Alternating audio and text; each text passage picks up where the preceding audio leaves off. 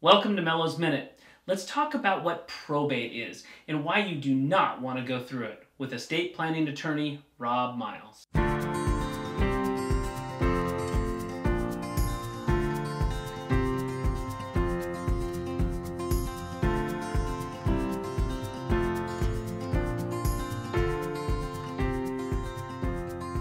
So probate is a court supervised process. Probate is the state saying, listen, when we pass, there has to be some details. There has to be a wrapping up or you know a winding up of one's estate. And we're going to have an opportunity for you to do that privately if you do estate planning and you have a trust and so forth. You can do it on your own. But if you don't have that, we have to have something in place to ensure that one's estate gets wound up. And so the probate process is literally a court supervision process where um, somebody will have to petition the court to be appointed to a position of authority.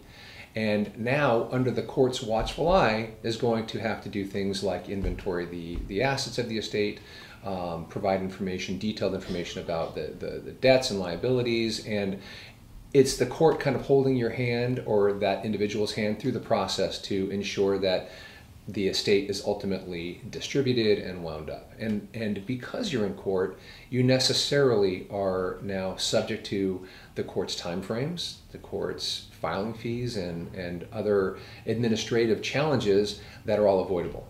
So, you know, probate is a necessity at times. My goal and my role is to try and make that as minimal as possible.